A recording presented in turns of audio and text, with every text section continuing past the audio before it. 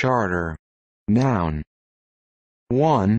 A document issued by some authority, creating a public or private institution, and defining its purposes and privileges.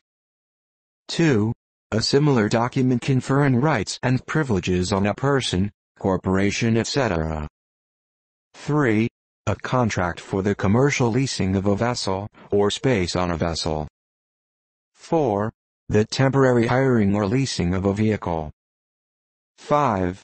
A deed, legal contract. 6. A special privilege, immunity, or exemption. Charter. Adjective. 1. Leased or hired. Charter.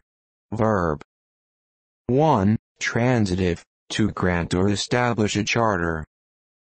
2. Transitive, to lease or hire something by charter.